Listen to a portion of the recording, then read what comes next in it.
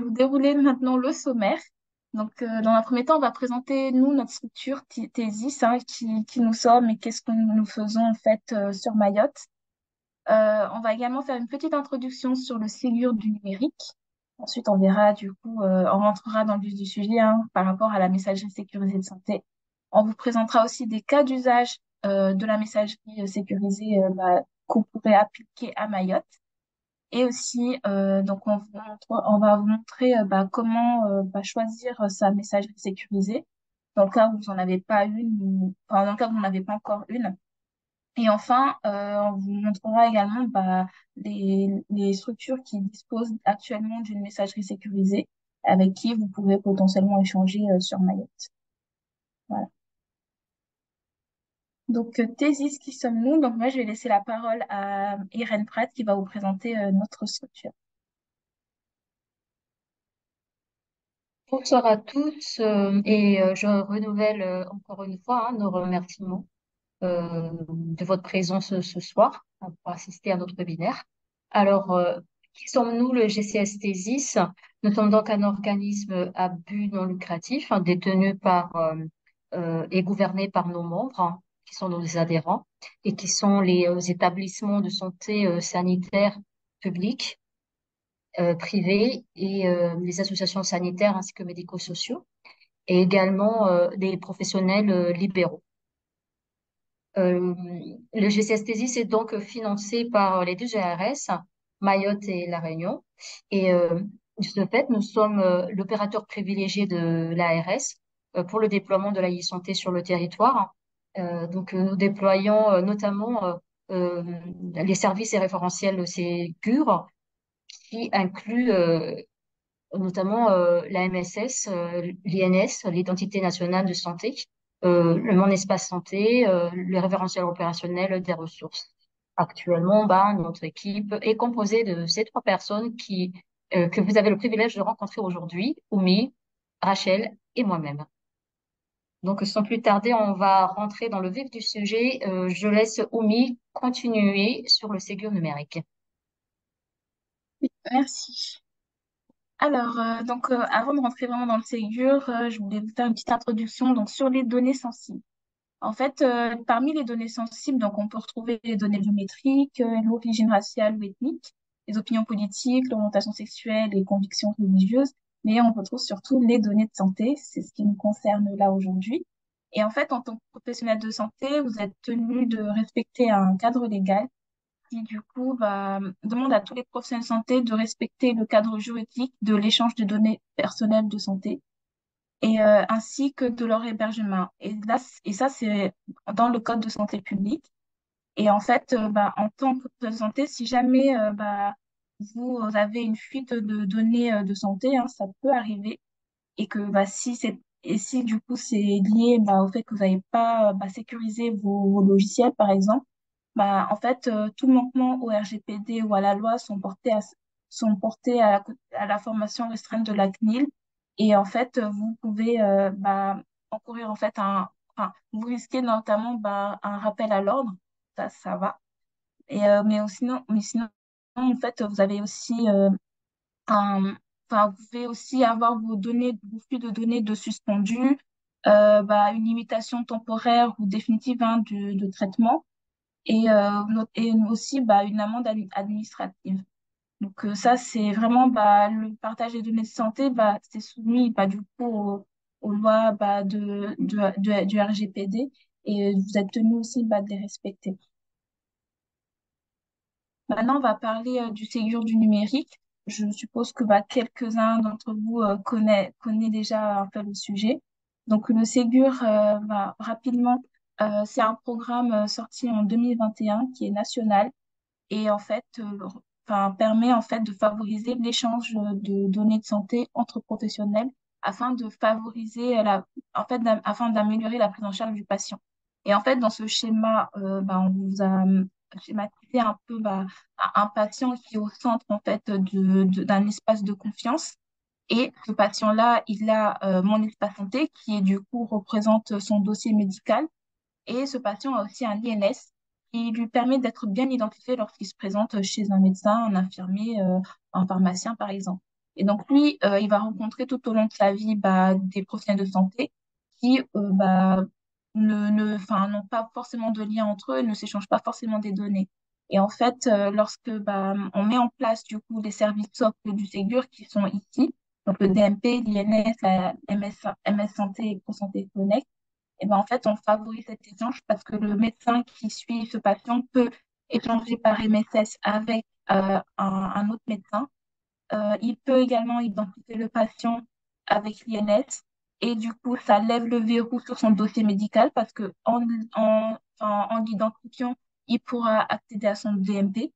Et enfin, bah, le, le, le médecin bah, peut également s'identifier avec ProSanté Connect, donc euh, vraiment bah, être sûr euh, que bah, le logiciel le reconnaisse et être sûr que c'est bien un médecin qui se connecte, c'est pas euh, n'importe qui. Donc, tout est fait en fait pour que, bah, pour créer cet, espa- cet espace de confiance et que le- les données santé bah, ne fuitent pas et vraiment restent ancrées dans cet espace de confiance. Le Ségur du numérique, ça concerne bah, à peu près tout le monde, j'ai envie de dire. Donc, on a les établissements sanitaires qui sont concernés euh, et ainsi que le médico-social.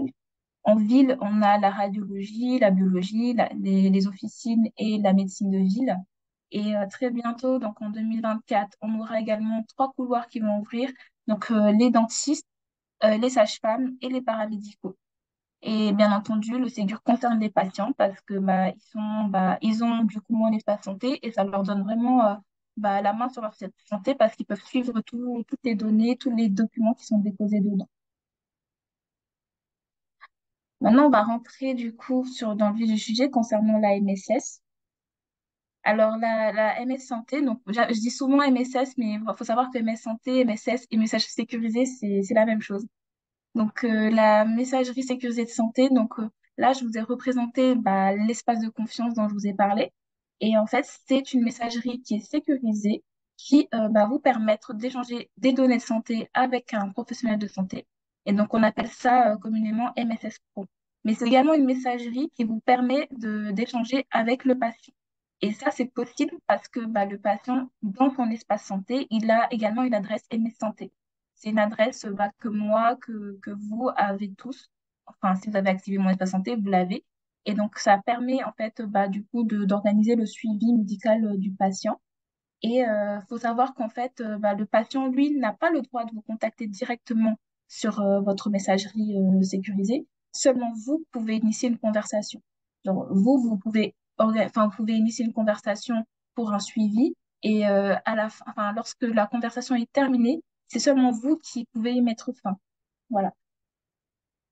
Euh, et en fait, euh, donc euh, la messagerie est sécurisée, donc on les, re- on les reconnaît notamment bah, grâce à, bah, au suffixe ici, donc mssanté.fr.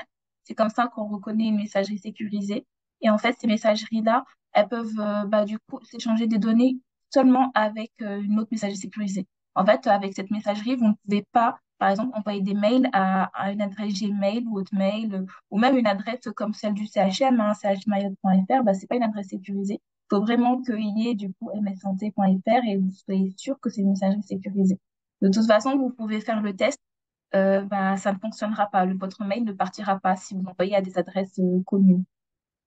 Enf- Enfin, euh, la messagerie sécurisée vous donne accès du coup à, à un annuaire qui du coup va, va recenser tous les professionnels de santé qui ont euh, la, la MS Santé. Donc euh, dedans, bah, vous retrouvez les professionnels qui sont bah, à Mayotte, à La Réunion ou, euh, ou même en métropole, qui sont dedans. Donc avec cette messagerie, déjà, on répond au, bah, au cadre juridique qu'on évoquait tout à l'heure. hein. Donc l'obligation bah, du coup de sécuriser les échanges de données l'hébergement.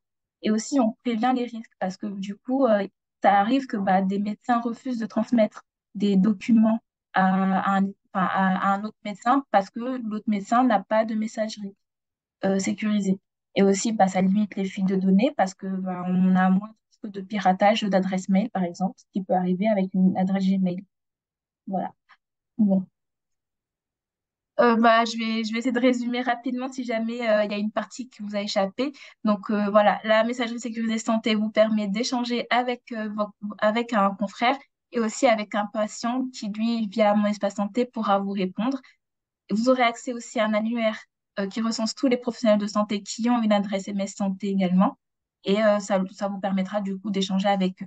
Et donc, pour rappel, seules deux messageries mssanté.fr peuvent échanger entre elles et vous ne pouvez pas euh, bah, échanger avec une adresse classique comme on les connaît, un Gmail ou Hotmail. Voilà. Donc, on va avancer. Alors, euh, on a une question, du coup de, de Sandrine. Donc, euh, quand sera disponible l'annuaire? Eh ben, l'annuaire, elle est disponible en fait. C'est euh, l'annuaire, vous pouvez le retrouver dans, enfin, vous avez juste à taper annuairesanté.fr et vous retrouverez du coup, enfin, vous aurez accès du coup à l'annuaire. Vous tapez sur Google annuairesanté.fr et vous pouvez nous, nous- mettre le nom d'un médecin ou d'un infirmier, même votre nom aussi, bah, pour voir en fait si vous figurez dedans. Et si vous figurez dedans et que vous avez une adresse mssanté.fr, et bah, la- votre adresse mssanté.fr euh, va s'afficher aussi. Ok. Ok. Il y a une deuxième question de Boubacar euh, Silahi, du coup. Est-ce que celle-ci est-elle et comment peut-on y accéder? Pour parler bien bon, de la essayer. MSS, c'est ça? Oui, c'est- je pense que c'est ça. Bon, on va le laisser répondre. Oui, ma question concernait effectivement euh, la MSS Santé. Euh, j'aurais aimé savoir, est-elle payante et comment peut-on y adhérer? Alors, moi, je vais répondre du coup, parce que je vois que Oumi, elle est figée. Euh, la, la MS Santé, du coup, vous pouvez y accéder via votre éditeur euh, de, de logiciel métier. Je ne sais pas si vous en avez aujourd'hui. Oui, c'est euh, payant. Mais il faut s'approcher euh, de, de, de votre éditeur de logiciel métier. Parce Euh, qu'il faut savoir que je n'ai pas entendu via quel logiciel? Excusez-moi. Non, en fait, il faut tout d'abord s'approcher de votre éditeur. Est-ce que vous utilisez maintenant euh, le logiciel métier euh, vous, vous êtes médecin, infirmier, vous êtes dans un cabinet? Je disais dans une euh, association médico-sociale. D'accord. Et aujourd'hui, vous avez déjà un DUI ou pas?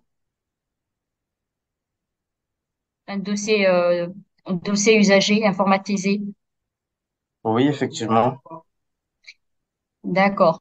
Donc, de ce fait, il faut s'approcher. Je ne sais pas c'est quel éditeur qui vous a, qui, qui vous a euh, déployé le, le DUI. Donc, il faut s'approcher de cet éditeur-là. Vous êtes sur Ogéris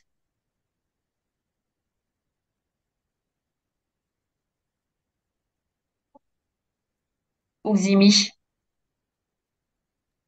Euh, vous m'entendez? Oui, là tout à l'heure, c'est- j'ai pas eu de réponse, mais euh, est-ce que vous pouvez me répondre Ah, maintenant, s'il vous plaît? d'accord. Donc, euh, en fait, nous sommes une petite structure pour euh, faire en bref un petit résumé. Nous sommes une petite structure. Donc, étant donné, nous avons des documents informatisés, mais nous n'avons pas d'éditeur, pour être précis. D'accord. Donc, euh, par rapport à cela, euh, c'est étant donné que nous commençons un peu plus euh, à évoluer et à, comment dire, à prendre du galon, donc nous essayons de, de s'informer, comme vous l'avez dit, par rapport à votre première question, d'être oui, curieux et de savoir comment permettre à la structure d'obtenir cela. D'accord. Ok. Bah, ce que je vous propose dans, dans, dans ce cas-là, c'est que euh, vous nous contactez. On va, on va laisser notre contact à la fin du webinaire. Comme ça, là, euh, on reviendra vers vous pour pouvoir euh, échanger plus spécifiquement sur le sujet et en plus détaillé. D'accord, je vous remercie. parce que c'est médico-social et surtout les associations, euh, c'est un peu spécifique égal, effe- effectivement, et il faudrait que on en discute sur un point euh, spécifique. D'accord? Et vous D'accord, pouvez nous écrire directement aussi euh, et nous envoyer votre adresse email et on reviendra vers vous dans un, plus- dans le, dans un plus plus bref délai, excusez-moi. d'accord, je vous remercie. Je vous en prie. Alors, euh, j'ai une dernière question donc d'un spectateur anonyme qui demande en fait pour les professionnels hospitaliers comment ils peuvent obtenir euh, leur adresse sécurisée. Euh, déjà la question, enfin tout dépend en fait de votre profession parce qu'en fait euh, pour le moment au CHM euh, on a pour le moment on a que les médecins qui qui ont un une messagerie sécurisée de santé. Donc, je ne sais pas si vous êtes médecin ou vous avez une autre profession. Je ne sais pas qui a posé la question, je ne sais pas si elle est là. Cette personne- Alors, non. Oui, oui, c'est euh, Chloé. C'est Chloé, pardon. Je sais pas pourquoi il y avait euh, spectateur anonyme, mais voilà. Euh, ben là, c'est pour les sages-femmes, du coup. Et nous, on échange énormément de données ah, euh, médicales, et notamment avec nos consoeurs du secteur libéral, oui, Mhm. et qui, pour certaines, ont une messagerie sécurisée, mais comme vous l'avez euh, à juste titre présenté, euh, ça ne passe pas vers euh, les... Si elles utilisent leur, leur messagerie sécurisée, ça ne passe pas vers nous au CHM et inversement.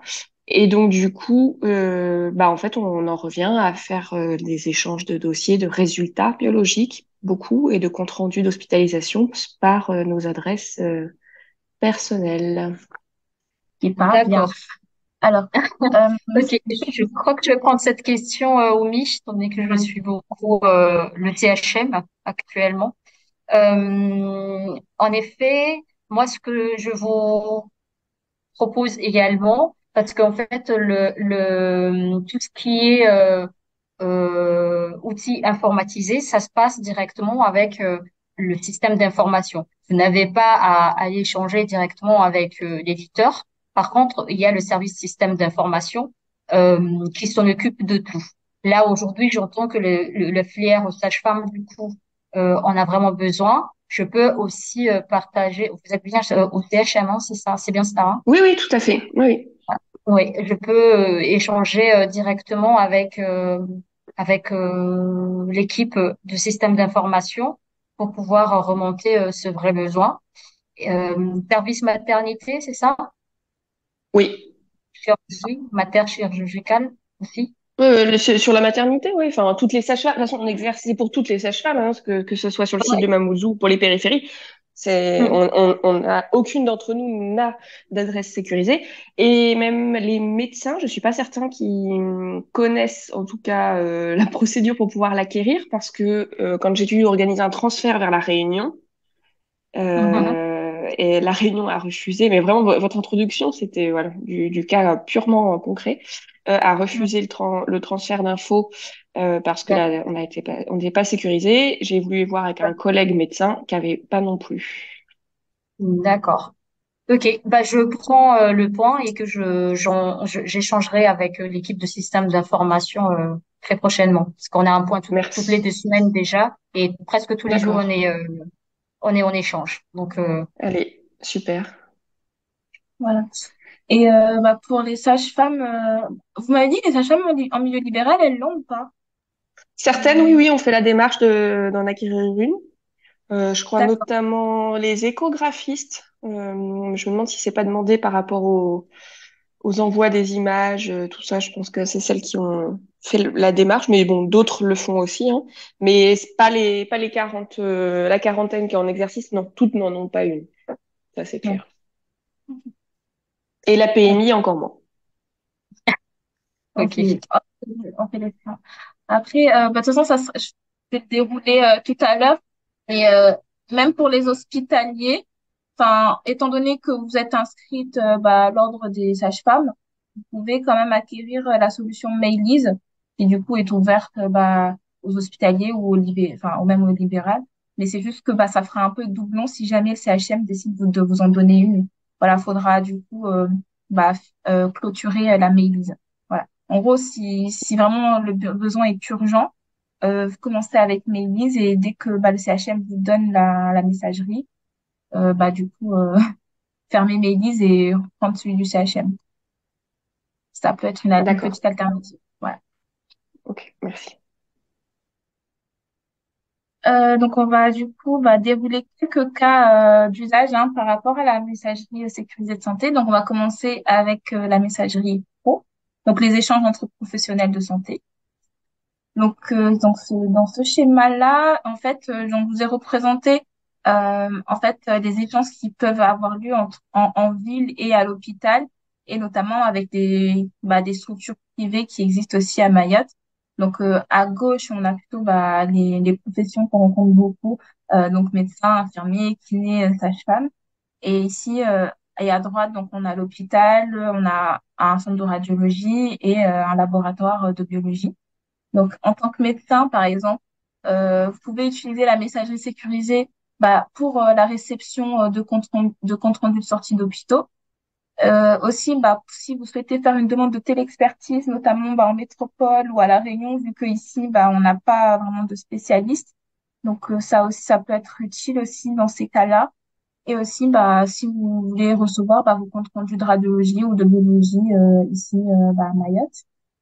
Euh, par rapport aux, bah, aux infirmiers, aux kinés, euh, bah, ce qui peut être intéressant, bah, déjà, c'est euh, l'envoi, enfin, la réception, pardon, trop vite. La réception d'ordonnances bah, de soins infirmiers ou de kinés qui pourra être réceptionnée euh, par MS Santé et l'envoi aussi de, de bilan de soins infirmiers, de bilan de diagnostic kiné au médecin traitant. Et aussi bah, l'envoi de photos bah, de plaies pour une expertise médicale. Donc ça, ça concerne surtout les infirmiers donc euh, qui peuvent transmettre ça euh, bah, par messagerie à leurs euh, professionnels, à, à, aux médecins traitants. En tant que sage-femme, euh, bah, vous pouvez aussi bah, faire des demandes, par exemple, d'expertise à un gynécologue en hôpital, euh, réceptionner bah, les comptes rendus de sortie d'hospitalisation ou même en cas d'accouchement, recevoir aussi bah, les comptes rendus en cas de prélèvement sanguin en laboratoire. En fait, euh, il est, enfin, la liste, elle est non exhaustive, mais là, j'ai donné quelques cas, mais on, on, peut même en évoquer d'autres ensemble si jamais euh, il y en a qui vous viennent en tête hein, sur euh, l'utilisation de la MSS. Euh, on est totalement ouvert. je me semble que j'ai une question. Alors. Oui, je, crois qu'il y a la question de Nassimata qu'on n'a pas répondu. Je suis, oui, alors, je suis idèle remplaçante. Est-ce que je peux avoir une adresse sécurisée? Alors, euh, la question, la réponse est oui, si euh, bah, vous êtes bien inscrit à l'ordre des infirmiers. Voilà, donc normalement, euh, bah, j'avais évoqué Mailise, encore une fois, c'est du coup une message, enfin, un, en gros, une solution de messagerie sécurisée qui est recommandée par les ordres, donc tous les ordres. Et donc, si vous êtes bien inscrite à l'ordre des infirmiers, vous pouvez vous créer votre mail, votre adresse sécurisée Mailise. Et euh, bon, c'est assez facile, ça se fait en quelques minutes, mais à l'aide de, d'une carte CPS ou ICPS. D'accord. Oui, je suis inscrite alors. Merci beaucoup. Merci à vous. Euh, ça va dans un sens. Euh, et bah, bah non, en fait. Enfin, ça, ça va des, des deux côtés, en fait. Euh, comment vous dire? Bah, par rapport, par rapport au cas médecin-hôpital, bah, l'hôpital peut transmettre les comptes rendus, mais vous aussi, vous pouvez envoyer des documents à l'hôpital. Enfin, c'est ça, ça va dans les deux sens. C'est tant que, tant que voilà, vous voyez une utilité sur euh, la messagerie euh, sécurisée, que par exemple vous avez un correspondant à l'hôpital avec qui vous pouvez échanger, euh, vous pouvez envoyer, euh, vous pouvez vous échanger des mails en fait, réciproquement. Voilà. Je sais pas si j'ai bien répondu à cette question, si vous avez, ou c'était plutôt une question. Vous avez, vous avez envie de préciser la question, Sandrine?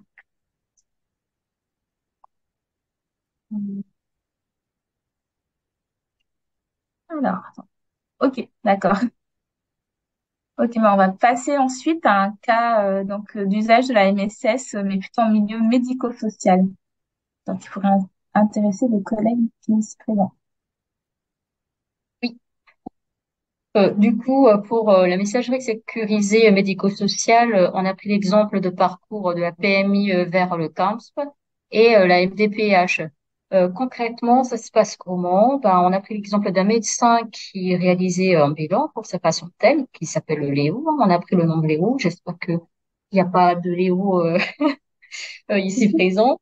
Et donc, le médecin, il souhaite envoyer ses conclusions qui montrent la nécessité de d'orienter vers le CAMS et qui, par la suite, envoie vers le MDPH. Donc, tout se passe par l'admission, en fait, par le prescripteur qui fasse qui fait la demande vers euh, CAMS. Donc, euh, il y a l'admission. Et euh, après validation, ben, ça va partir via encore le bal organisationnel hein, de, de l'établissement, de, de la structure, pour, pour le parcours de coordination et par la suite pour pouvoir euh, envoyer les, les, les, dossiers vers le secrétariat ou continuer vers l'orientation euh, vers MDPH. Donc, euh, pour le médico-social, en effet, oui, euh, le, la MSS euh, le concerne aussi à partir du moment où euh, vous avez euh, également euh, un dossier euh, euh, usager partagé. Parfois, euh, il y a des éditeurs qui euh, déploient euh, le DUI accompagné directement de, de messagerie sécurisée. Et c'est là où il faut faire attention quand vous euh, quand vous euh, allez euh, acquérir euh, un messagerie sécurisé ou un, dossier patient, euh, un dossier usager euh, informatisé. Il faut avant tout demander à l'éditeur la MSS qui est compatible. Parce que il y a certains MSS qui ne sont pas compatibles à un tel DUI, par exemple. Donc, il faut s'en assurer tout d'abord avec votre éditeur euh, avant d'acquérir euh, une messagerie sécurisée si c'est pas intégré directement avec, si c'est pas fourni directement avec euh, la solution de DUI que vous avez euh, acquis. Donc, avec la messagerie sécurisée, bien évidemment, les données de santé seront échangées de manière sécurisée avec tous vos interlocuteurs. Bien. Est-ce que vous avez des questions par rapport à ce cas d'usage, notamment euh, bah, le monsieur qui est du coup dans une structure euh, médico-sociale?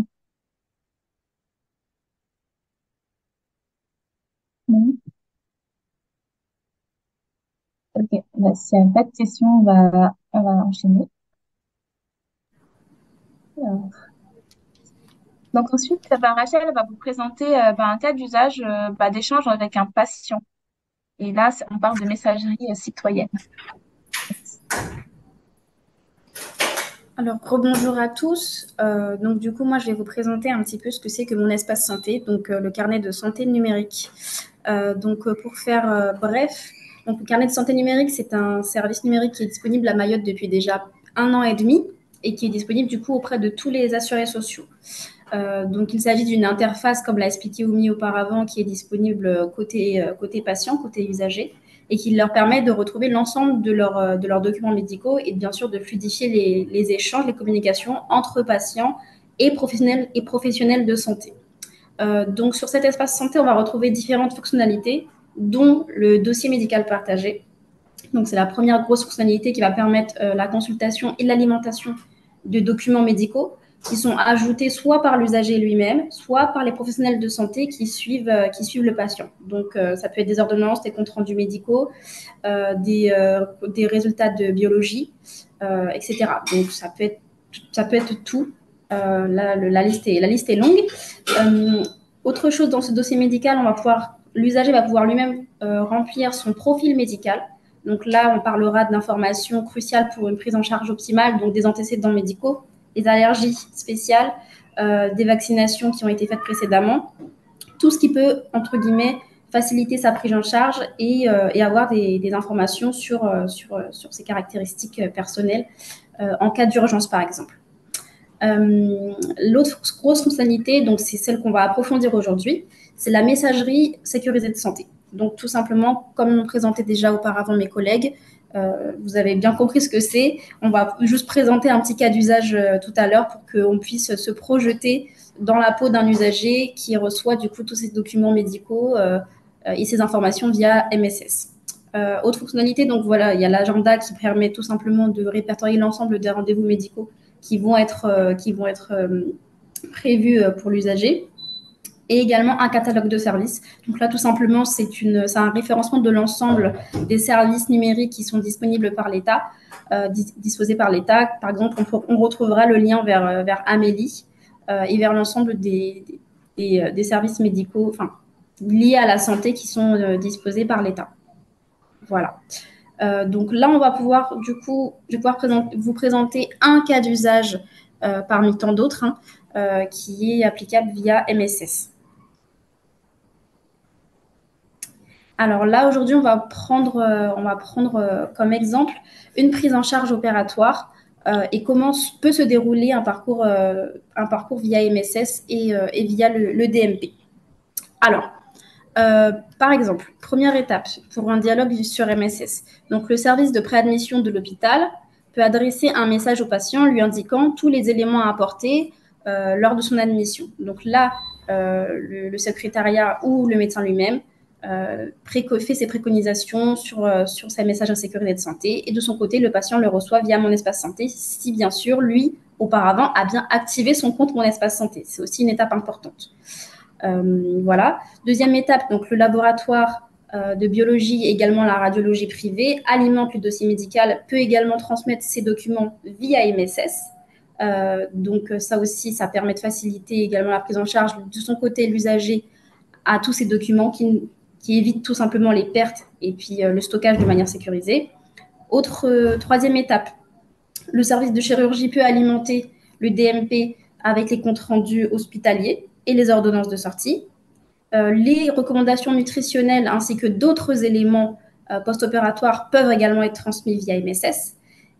Ensuite, dernière étape, le secrétariat de chirurgie peut envoyer régulièrement des, euh, sur le profil médical en renseignant son, niveau de douleur pour la prise en charge. Donc là, on parle vraiment euh, d'un suivi, d'un accompagnement tout au long du parcours de soins du patient pour faciliter, pour fluidifier les échanges. Donc, vous l'aurez compris, du côté de l'usager, ça leur permet d'avoir tout de manière centralisée, sécurisée, ça évite la perte de documents et, euh, et également d'être rassuré.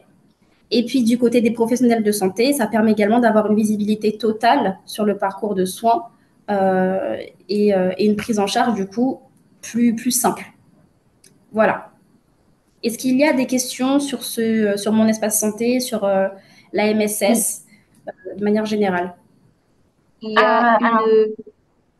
Oui, il y a une question de Sandrine et il y a Boubacar qui a levé la main. Oui, je vous écoute. Alors, une question entre quelle est la différence entre le DMP, dossier médical partagé, et le dossier de santé partagé? Est-ce que c'est ce qu'on retrouve dans Ogiris Je pense que c'est le DUI dont elle parle. Ogiris, bah, c'est DUI. Vais... Le dossier de santé partagé. Ce que l'on retrouve chez Ogiris. Ogiris, c'est le, le DUI. Ouais. Voilà, c'est le DUI, je pense. Mm -mm. Euh, Irène, tu veux, parler du, tu veux parler du DUI peut-être? Dossier usager informatisé. Oui.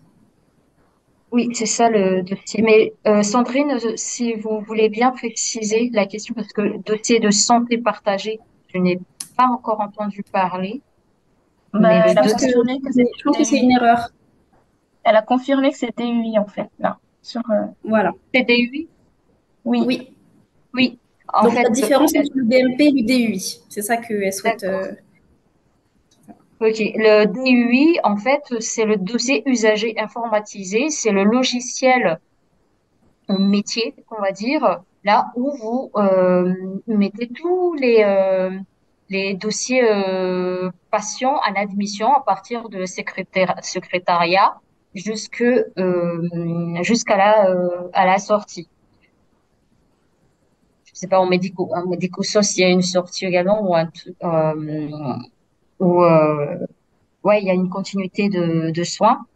Euh, par contre, le dossier médical partagé, c'est là, c'est propre, euh, ce sera le patient qui, qui, qui va pouvoir le, le, le voir. C'est pas euh, seulement les professionnels de santé. Ce sont les documents qu'on veut remettre au patient, qu'on mette dans le dossier euh, médical partagé.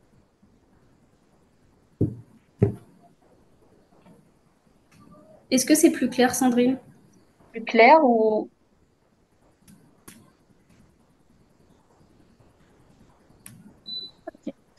Euh, c'est surtout que peu importe d'où viennent les documents, que ce soit depuis un DMP ou un DUI, l'usager, lui, de son côté, il reçoit l'ensemble des documents. Sur mon via mon espace santé. Voilà. Est-ce que du coup c'est plus clair? Mais le DMP, du coup, c'est ce que le professionnel de santé utilise, les médecins, les infirmiers. Et euh, le euh, MES, le, mon espace santé, ce sera pour les usagers. Donc, à partir du moment où le médecin, il dépose un document euh, à l'intérieur d'un TMP, ben, le, l'usager, il va pouvoir le trouver dans son, sa messagerie, mon espace santé dans mon espace santé. Le DUI, c'est euh, l'outil euh, de métier que vous avez au sein de d'établissements médico-sociaux pour pouvoir informatiser tous les documents euh, d'admission, par exemple, afin de pouvoir les, écrire plus facilement et numériser tous ces, tous ces documents-là et les dossiers usagers que vous recevez au sein d'un- d'un- d'une structure. Merci. Irène. Euh, on a du coup Boubacar qui a Sandrine, levé il y a la des mains levées. Oui, je donne la parole à Boubacar. Oups, attends, réactiver le son. Voilà, vous pouvez parler.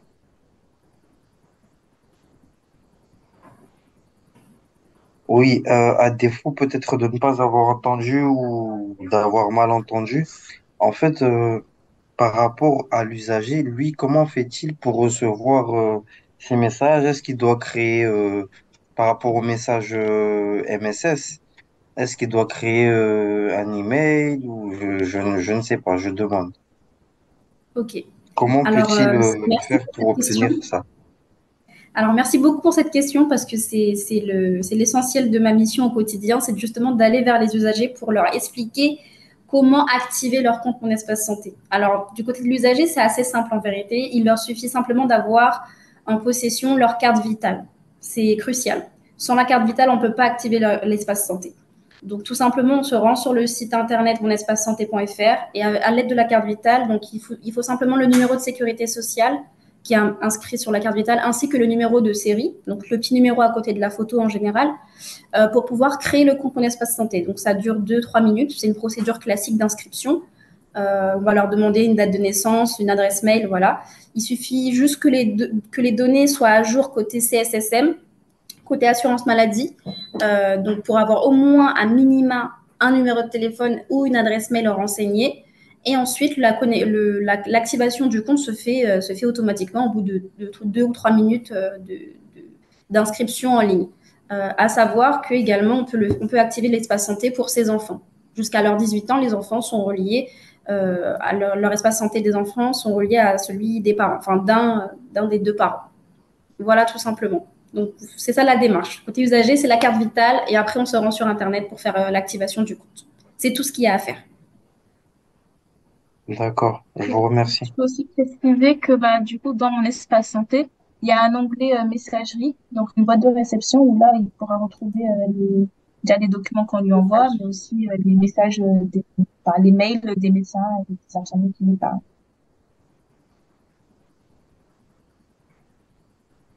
D'accord, voilà. merci beaucoup. Je vous invite tous à activer votre espace santé, si ce n'est pas déjà fait. Euh, Christelle, tu avais une question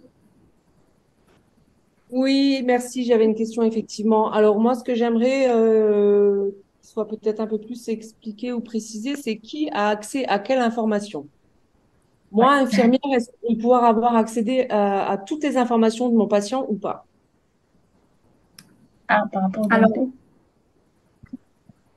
alors, en réalité, non, c'est déjà bien réglementé. Euh, il y a une matrice d'habilitation, donc c'est un grand tableau, un grand document qui répertorie euh, vraiment le type de document auquel euh, quel type de PS a accès. Là, j'ai pas tout en tête parce que c'est un tableau qui est monstrueux, mais si vous voulez, on peut, on peut vous le transmettre à l'issue de la réunion, comme ça vous aurez vraiment la visibilité sur tout, tout, ce, que, tout ce dont vous pouvez, vous pouvez avoir accès sur un, sur, sur un DLP d'un patient. Euh, mais globalement, ce qu'il faut comprendre, c'est que euh, en général, le médecin traitant, par exemple, il a accès à quasiment tout. Ensuite, euh, les autres professionnels de santé ont des usages un peu plus restreints. Mais en réalité, en tant qu'infirmière, vous avez déjà pas mal d'accès en termes de, documents patients. Mais on vous transmettra tout. Il y a la matrice d'habilitation qui, qui, répertorie tout ça. Et c'est déjà, c'est déjà bien réglementé. Après, il faut savoir que du côté du patient, il a aussi la possibilité de masquer ou non des documents en fonction de tel ou tel professionnel de santé, s'il le souhaite. C'est okay. lui qui a le dernier sur tout. D'accord. Donc ça, oui, c'était quelque chose que j'avais déjà bien compris. Mais est-ce que euh, ça veut dire que, par exemple, euh, c'est le médecin qui active euh, ses autorisations ou comment ça se passe? Comment ça pas médecin bah, Je ne ah, sais pas, moi.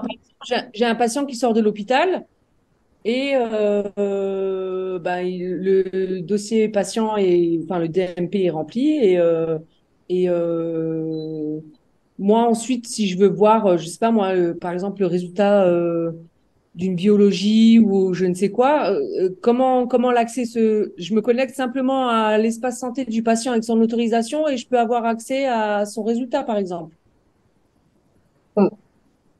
Euh, normalement, oui, il faut, il faut, il faut le consentement du, du patient. À partir du moment où on a le consentement du patient et qu'il l'autorise, oui. Ok. Mais en fait, il faut, faut, faut savoir si dans la matrice d'habilitation, vous pouvez consulter bah, les comptes rendus euh, de, de biologie, par exemple. Enfin, il faudra cliquer sur la matrice. Excusez-moi. Bah, il me semble que pour les infirmiers, justement, c'est ce qui pose souci, c'est qu'ils n'ont pas accès au, enfin, ça, ça fait pas partie de leur prérogative de récupérer les résultats biologiques. Par contre, la question du coup, c'est si jamais euh, le praticien enregistre le, le résultat et le Mhm. met à disposition de l'infirmier, ça c'est possible. C'est-à-dire, par exemple, avec une prescription pour faire une autre prise de sang, ça paraît très logique euh, que l'infirmier ait quand même l'information. Oui, tout à fait. Normalement, euh, bah, Normalement, oui. Après, je propose pour être sûr, euh, vraiment qu'on qu'on consulte la matrice d'habilitation pour vraiment s'assurer que ça c'est possible. Mais dans la logique des choses, ça devrait, ça devrait l'être. D'accord. Et l'autre chose, c'est que en fait, ne sont consultables que euh, ce qui aura été saisi finalement sur le sur le Ouais. dossier. Oui, oui, oui, oui.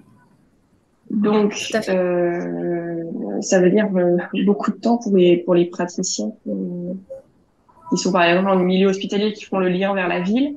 Euh, ça veut Mhm. dire qu'il faut qu'ils téléchargent les comptes rendus qu'ils souhaitent partager, les imageries qu'ils souhaitent partager, qu'ils les insèrent sur le logiciel et qui donnent les droits in, in fine à- aux gens qui vont pouvoir prendre le patient en charge plus derrière.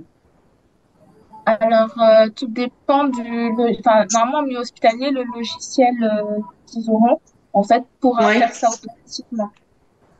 D'accord. En fait, il y a un compte rendu qui sort, enfin, il n'a pas à le scanner ou quoi. Enfin, euh, il- normalement, la, le secrétariat pourra le transmettre directement dans le DMP du patient. D'accord. Euh, donc, est-ce qu'on a d'autres questions? Euh, c'est bon, on a plus. Donc, on pourra avancer. En tout cas, si je, suis contente que les, questions sont assez riches.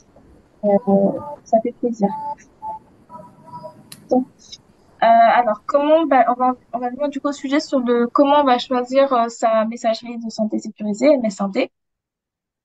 Euh, déjà, euh, cette slide-là, en fait, ça permet juste de répertorier euh, les, les professionnels qui ont le droit ou non d'avoir une messagerie. Et euh, faut savoir que bah, déjà, tous les professionnels de santé peuvent avoir une messagerie sécurisée. Donc, euh, la liste, elle est très longue. Euh, du coup, bah, je vais pas tous les répertorier, mais voilà, on a pas mal, en tout cas, qui, qui peuvent du coup prétendre à une messagerie. À côté, on a les professionnels à rôle, donc eux, bah, ne sont pas professionnels de santé, mais qui ont quand même un rôle euh, bah, au niveau de la prise en charge d'un patient. Et euh, bah, du coup, ils sont aussi, ils ont aussi le droit euh, de disposer d'une messagerie sécurisée. Donc là, comme une assistante sociale, euh, un mandataire judiciaire, euh, les professionnels qui sont, enfin les, ceux, les, les professionnels qui sont membres d'une équipe médico-sociale, par exemple, bah aussi peuvent avoir accès, les éducateurs aussi. Donc euh, voilà, c'est des petits exemples comme ça euh, de professionnels qui pourront avoir accès à une messagerie de santé sécurisée. Mais il faut savoir que cette catégorie-là, pour qu'ils puissent disposer d'une messagerie, euh, il faut qu'ils passent par un programme qui s'appelle RPPS+. En fait, euh, c'est euh, en gros c'est un répertoire. euh, Enfin, on connaît le RPPS classique hein, pour les professionnels et donc c'est une extension en fait du RPPS qui du coup permet à un professionnel qui n'est pas professionnel de santé de, de s'y inscrire et à l'issue, il pourra disposer d'une carte ICPS cette fois-ci, enfin, c'est une une carte bah, virtuelle euh, ICPS et aussi euh, d'une messagerie euh, sécurisée. Donc euh, à l'issue de cette inscription-là, il pourra du coup euh, disposer de, de, cette, de la messagerie. Donc ça concerne que bah, les professionnels à rôle, qui ont un rôle dans la prise en charge d'un patient. Oui, euh, une question de Christelle. Oui, désolé, je, j'aimerais apporter une précision et peut-être que vous allez pouvoir nous aider parce que nous, on a une problématique avec la ICPS. Euh, Mhm. notre numéro Maoré nous pose des soucis pour récupérer un, euh, pour récupérer un, le code. Mhm. En fait, on est enregistré au niveau de, de l'ONI et même là, je viens de consulter sur Internet avec le, le préfixe plus 269. Or, nous, c'est du plus 262. Et Ah. euh, moi, par exemple, euh, on est plusieurs comme ça. Hein, euh, là, quand on veut créer, euh, par exemple, créer la ICPTS, ça fonctionne Mhm. pas parce qu'on dit que notre euh, notre compte MS Santé n'est pas à jour. Euh, Enfin, même que sur l'ordre qu'il n'y a pas de numéro de téléphone. Or, le numéro de téléphone est bien là, mais avec le mauvais préfixe. D'accord. Ah bah ça fait bien, c'est bien d'avoir cette information-là. Euh, bah, Et on a, on déjà, à, à on a nos- déjà, vou- pardon, on a déjà voulu faire remonter à l'ordre que c'est pas le bon préfixe pour nous.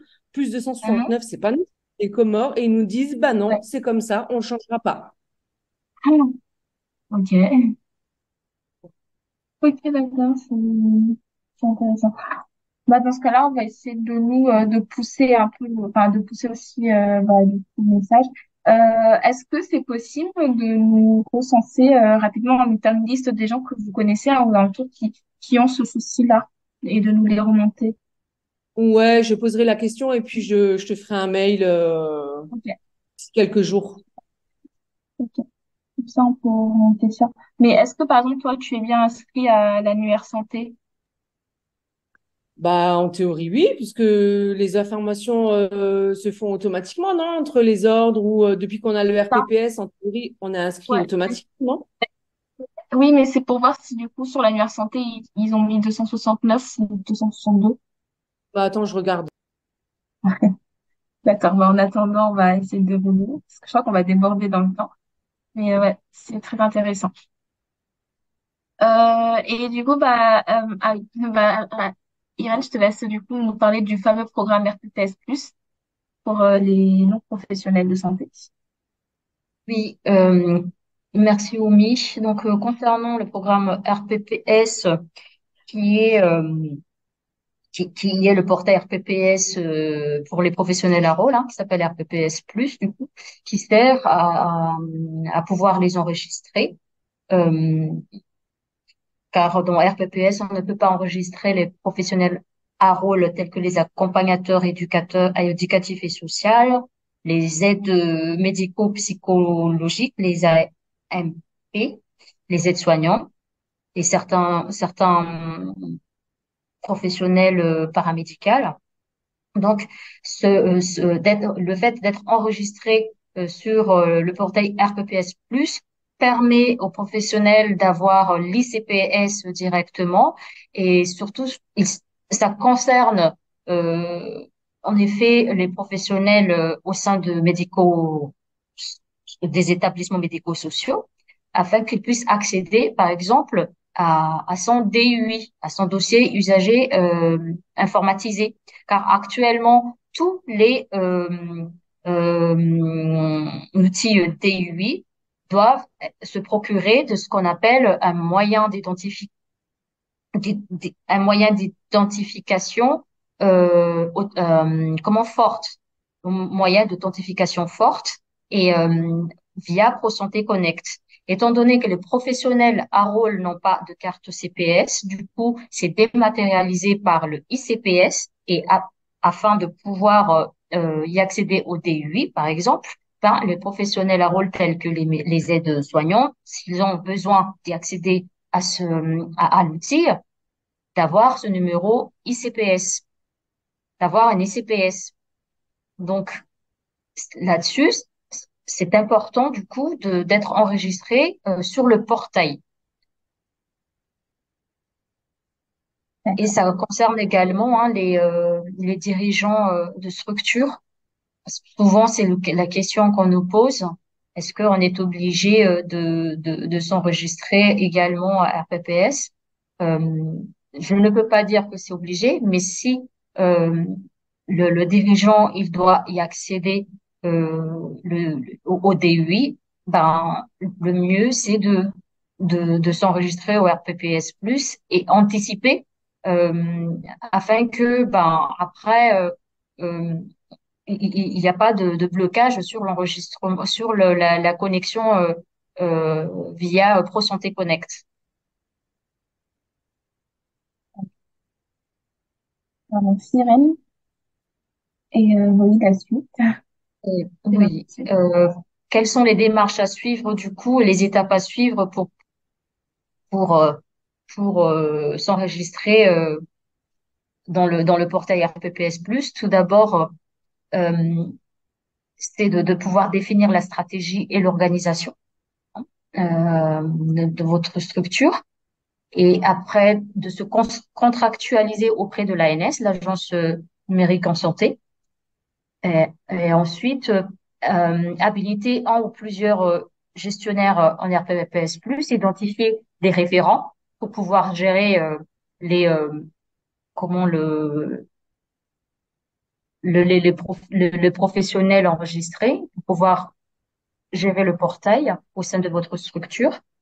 Préparer, comme tout euh, déploiement, c'est de pouvoir préparer euh, tous les éléments en amont, que le poste de travail, en installant euh, les, les lecteurs de cartes, euh, recueil de données euh, utiles pour pouvoir réaliser l'enregistrement et passer à l'étape d'enregistrement afin de pouvoir avoir directement euh, une MSS et euh, l'ICPS.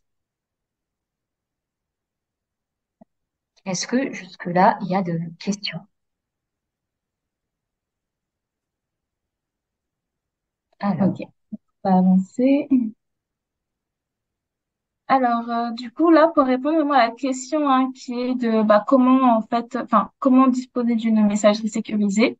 Alors, faut savoir déjà qu'on a euh, trois euh, types de messagerie euh, qui se prennent. Donc, la première, c'est la boîte mail nominative. En fait, c'est une boîte mail qui est personnelle, que seul le professionnel de santé peut utiliser. Il peut pas, en fait, passer les codes comme ça au contraire. C'est à, c'est à lui et seul lui peut utiliser la boîte mail. Ensuite, on a les boîtes mail organisationnelles. Et donc ça, c'est des boîtes mail en fait bah, qui sont gérées par plusieurs euh, professionnels. Euh, voilà, ça peut être par exemple une boîte mail qui est gérée par, euh, une boîte mail du d'un cabinet infirmier par exemple, où du coup bah, la secrétaire aussi y a accès et euh, bah, peut bah, gérer, envoyer des documents. Ou même bah, ça peut être la boîte mail d'un secrétariat d'un service hospitalier qui, elle, doit, ou la secrétaire, bah, vu que ça, elle change, elle change beaucoup, il y en a plusieurs, bah, doivent euh, organiser les envois de, de comptes rendus. Donc euh, voilà, c'est une boîte mail qui est partagée par plusieurs personnes, mais euh, dédiée à un service. Ensuite, on a la boîte mail applicative et euh, c'est un peu le même principe que les boîtes mail organisationnelles, mais c'est juste qu'on fait, on a un peu moins d'efforts parce qu'en fait, du coup, euh, les, les envois de compte rendu seront automatisés à partir euh, notamment du logiciel euh, du, de la structure. Bah, en fait, euh, il y a un, y a un programme qui est fait pour que bah, dès qu'il y a un compte rendu qui sort, bah, c'est envoyé directement euh, au destinataire. Et donc là, il n'y en a pas en fait euh, bah, du coup euh, un humain qui manipule. Voilà. Donc ça, c'est plutôt utilisé beaucoup en milieu hospitalier, la boîte mail euh, applicative. Donc euh, voilà. Et donc là, je vais vous montrer ensuite, bah du coup, euh, bah voilà, j'ai j'ai mis, euh, bah, j'ai représenté euh, bah, des diverses professions. Donc en tant que libéral, par exemple, comment du coup choisir votre messagerie sécurisée de santé? Déjà, dans un premier temps, il faut pouvoir, euh, faut se poser les questions. C'est bah, est-ce que vous exercez seul ou en cabinet? Est-ce que vous ressentez le besoin bah, de partager une boîte mail ou est-ce que bah, avoir une boîte mail euh, rien que pour vous, c'est suffisant pour bah, gérer votre activité? Et en fait, en fonction bah, des questions euh, que vous posez et des réponses que vous avez eues, ce qu'on recommande, nous, dans un premier temps, c'est, et si vous disposez d'un logiciel euh, de, de cabinet, par exemple, bah, de poser de la question à votre éditeur de logiciel. Déjà, si lui, il, il peut vous fournir une messagerie sécurisée, et si, et, et si ce n'est pas le cas, bah, est-ce qu'il peut vous recommander un éditeur qui offre une messagerie qui est compatible avec votre logiciel? Voilà. Et si jamais, bah, en fait, votre éditeur ne peut pas répondre à cette question-là, donc ni, ni vous donner une messagerie, ni vous donner euh, une messagerie qui est bah, compatible, on a euh, du coup bah, Mailise, donc la solution dont je vous parlais au début euh, du webinaire, qui du coup bah, est la messagerie proposée par les ordres. Et celle-ci, elle propose uniquement des boîtes mail nominatives qui sont personnelles, que vous ne pouvez pas partager. Mais en fait, euh, l'avantage, c'est que bah, en fait, tant que vous êtes inscrit alors à un ordre, et ben en fait, vous pouvez vous créer votre messagerie très rapidement, en quelques minutes, à l'aide de votre carte CPS et vous l'avez euh, directement. Ensuite, euh, si euh, voilà, vous avez besoin bah, d'avoir une boîte mail pour votre cabinet, voilà, bah, que ce soit partagé par plusieurs professionnels.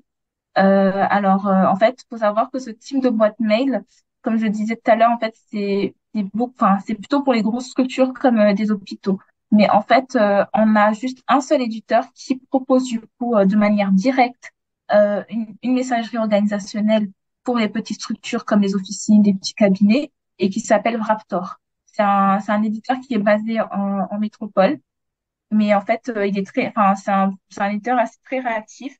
Euh, vous pouvez le contacter et, euh, dans, et en fait faire une demande. Mais en fait, par contre, faut, faut, faut, faut savoir que la boîte mail organisationnelle avec eux, elle est payante. Voilà, et donc ça passe par un devis et aussi bah, vous devez euh, bah, du coup donner en gros la liste des personnes qui sont habilitées à utiliser la, la messagerie ainsi que nommer une personne référente qui va du coup est le référent de cette boîte mail-là. Et après ça, euh, bah, vous avez votre euh, messagerie fonctionnelle. Donc contrairement à Mailwiz qui elle est gratuite parce que c'est une messagerie recommandée par les ordres, la boîte mail organisationnelle euh, dans tous les cas, elle est payante. Que ce soit avec Raptor ou un autre éditeur, hein, c'est la même chose, ça, ça va, c'est un, un coût. Euh, ensuite, en tant que professionnel de santé, donc en milieu hospitalier ou euh, dans le médico-social, donc euh, dans l'idéal, nous, on recommande bah, déjà d'en parler au direct, à la direction du système d'information de votre établissement. Bah, voilà, vous lui soumettez du coup bah, le souhait d'avoir une messagerie euh, sécurisée. Euh, donc voilà, c'est le cas de, de, de Chloé justement.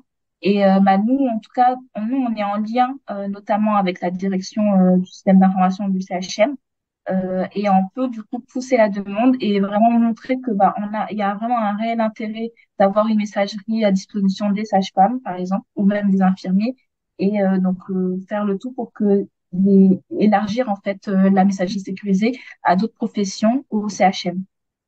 Voilà. Euh, et donc, en milieu médico-social, également, va voir également avec votre, le direct, la direction du système d'information de, de votre structure. Et euh, dans, nous également, Thésis, on, on travaille beaucoup aussi avec les SI euh, de, en milieu médico-social, bah, pour, bah, déjà pour, euh, bah, par rapport à, au logiciel hein, qui, qui a à acquérir, mais aussi bah, cette partie euh, messagerie sécurisée aussi à mettre en place. Voilà.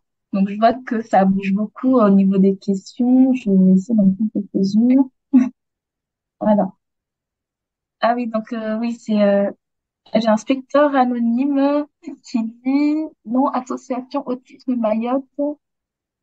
Ah, c'est euh, ah oui, d'accord, Ah, c'est pour toi, c'est le contact. Oui, c'est ça. pour toi. Ok, génial, super, ok. Est-ce que vous avez d'autres questions sur euh, oui?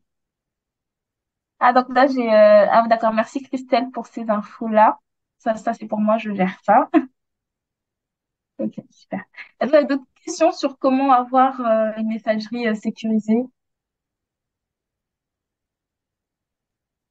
En fait, moi, j'ai la mienne, mais je me rappelle plus du mot de passe, mais j'arrive pas à le récupérer parce que je suis bloquée. Oui, oui. Et d'ailleurs, j'ai vu qu'il faut à tout prix que vous vous connectez avec une euh, avec la carte TPS pour euh, avoir votre code.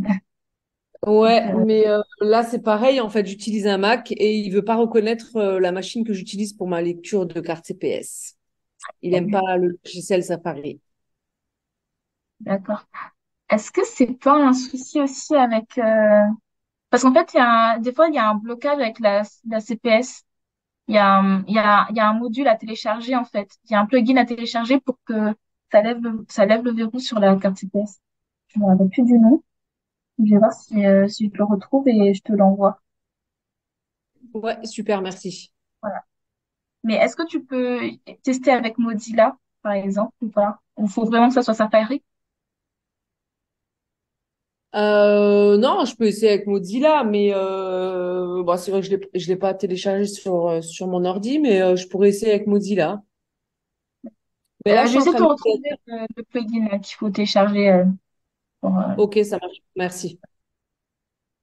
Oui, en, en effet, juste pour, euh, pour appuyer ce que disait Oumi tout à l'heure, euh, euh, souvent avec Safari, ça, beaucoup de choses bug. Moi aussi, j'utilise euh, Mac et euh, vaut mieux utiliser euh, soit Edge, soit Chrome, soit euh, Mozilla. C'est le système Ouais, de sécurité de Apple qui, qui bloque en fait avec le Safari. ouais, je vais tenter ça, merci. Alors, ça s'appelle Cryptolib CPS, je, je te l'envoie. Je te réponds là. Ouais, super, merci. Oui, ça s'appelle CryptoLib, ouais. Ok. Alors, on va avancer euh, rapidement. Donc euh, voilà, on a, on a bientôt fini, mais voilà, là, c'est, là la, la, la dernière slide, c'est vraiment pour montrer un peu bah, dans l'environnement maoré, en fait, bah, qui dispose euh, déjà d'une messagerie euh, sécurisée de santé. Donc euh, en ville, on a plusieurs, on a on commence à avoir de plus en plus de, de professionnels de santé qui sont, euh, bah, qui ont une messagerie et euh, qui sont d'ailleurs renseignés dans l'annuaire santé. Donc vous pouvez les retrouver euh, dedans, vous tapez le nom. Euh, au CHM, on a du coup euh, bah, les médecins qui ont une, messagerie euh, sécurisée et aussi bah, les secrétariats des services aussi qui ont qui, qui peuvent également faire euh, en- envoyer des documents par messagerie sécurisée. Voilà. Euh, pardon, du coup, dans ce cas, pour les médecins du CHM, euh, c'est avec leur nom et prénom comme pour nous ou pas du tout? Euh, là, je, je t'avoue que non, je sais pas du tout comment ça se passe pour le CHM, comment c'est c'est structuré. Parce qu'en fait, le CHM, c'est, en fait, ils sont pas passés vraiment par un éditeur qui leur a donné, en fait, c'est eux leur propre opérateur. Donc, c'est eux qui ont défini comment ils veulent que ça soit agencé, hein, par rapport au, au nom, enfin, par rapport à l'adresse mail, le nom, prénom. Donc, euh, je, je sais pas trop. Mais, euh, vous pouvez retrouver aussi les adresses du CHM dans l'annuaire santé, ok. quand même. Vous pouvez les retrouver aussi. Euh, voilà. Et en, en structure privée, donc ce qui est clinique, établissement privé, je peux vous citer Mzadé, qui elle aussi a une messagerie sécurisée. Donc euh, même les, les, les infirmiers coordinateurs hein, de, de Mzadé, ils ont une messagerie. Et voilà, souvent ils nous remontent bah, qu'ils l'ont, mais ils l'utilisent pas parce que bah, en ville, euh, bah, les infirmiers ils l'ont pas encore. Voilà, donc euh, ils l'utilisent pas, donc ils passent par d'autres voies pour, euh, pour faire des échanges. Voilà. Euh, ensuite, on a les patients, bah voilà, qui sont, qui sont, qui, qui ont une messagerie bah, par défaut parce qu'ils ont mon espace santé. Et voilà, pour rappel, bah, seuls euh, les professionnels peuvent initier une conversation y mettre fin, mais eux, ils peuvent pas initier ni euh, initier une conversation avec vous. Euh, en milieu, mi- en, dans le milieu médico-social, et bah, c'est- ça, ça arrive euh, très vite. hein. En fait, on accompagne, euh, en- enfin, on accélère hein, sur l'accompagnement euh, de la messagerie sécurisée en, dans le médico-social, donc ça va très bientôt arriver. Et euh, bah, les réseaux de santé, enfin, il y a, je peux vous citer un réseau de santé du coup qui dispose d'une messagerie sécurisée, donc euh, le CRCDC, ex-REDECA, qui a aussi une messagerie sécurisée. Ça peut intéresser euh, certains. Voilà et messagerie qu'on peut également retrouver sur l'annuaire santé. Voilà. Toutes les messageries, en tout cas, euh, que, qu'on cite ici, enfin, normalement, vous les retrouvez dans l'annuaire. Euh, voilà. Donc, je ne sais pas s'il vous reste encore quelques questions, mais je vous mets ici, du coup, notre adresse contact. Si vous souhaitez, euh, vous souhaitez nous contacter, nous poser des questions avec la messagerie sécurisée ou même euh, sur d'autres sujets. Euh, voilà, on, on va, on va, on va essayer de les traiter euh, assez rapidement. Voilà. Est-ce que vous avez des questions à ce stade-là? Je crois qu'on a débordé un peu dans le temps, mais voilà. Alors, attendez juste. Non, j'ai pas non plus de questions dans, dans l'onglet questions Non, il n'y a pas de réponses. question. Ouais. Super. Donc, si vous n'avez pas de questions, bah, je vous remercie en tout cas de, de nous avoir donné votre temps, d'avoir euh, pris le temps d'échanger avec nous dans ce webinaire. Et euh, voilà, au plaisir de vous revoir euh, bah, dans un prochain webinaire très bientôt. Euh, euh, donc, si ça vous dérange pas, en fait, on va vous envoyer euh, ce que, euh, un sondage par rapport au webinaire d'aujourd'hui. Voilà, sur vos ressentis, euh, si vous avez besoin d'un accompagnement bah, spécifique, soit sur la messagerie ou sur d'autres sujets. Et euh, voilà, ça nous permettra du coup bah, de, de mieux organiser l'accompagnement pour ceux qui le souhaitent. Voilà. Euh, donc, euh, bah, l'équipe existe. Du coup, vous souhaite passer une bonne soirée et euh, je vais, je vais mettre fin au webinaire. et vous remercie encore une fois d'avoir euh, d'avoir posé, enfin, d'avoir assisté à ce webinaire. Ah oui, je suis en train de lire le message en même temps. Merci beaucoup, Chloé, beaucoup pour ton message. Voilà. Ah, Oui. j'ai eu une main levée. j'ai une main levée. Monsieur, Oui, excusez-moi. Oui. Euh, en fait, c'était juste pour avoir l'information par rapport au webinaire. Vous aviez dit qu'il y aurait une deuxième session, c'est bien ça? Alors, on essaye, en fait, en fonction des retours, on, va, on essaie d'organiser euh, bah, des webinaires en fonction des, des demandes aussi. Euh, voilà, donc euh, je peux vous dire que bah, très bientôt, on aura un webinaire bah, dédié à mon espace santé et le DMP. Donc, on pourra, du, on pourra fixer la date rapidement et vous faire une invitation. D'accord. Bah, et étant donné que vous avez déjà nos mails, ben, lorsque cela sera organisé, euh, n'hésitez pas à nous contacter pour euh, nous le dire. Oui, il n'y a pas de Oui. souci. On le fera. pas de souci, je communiquerai. Merci Merci. beaucoup en tout cas et euh, bah, je vous souhaite de passer une bonne soirée et c'est un plaisir d'échanger avec vous. Bonne soirée. Merci Bonne à soirée. vous. Bonne. Au revoir. Au revoir. Merci.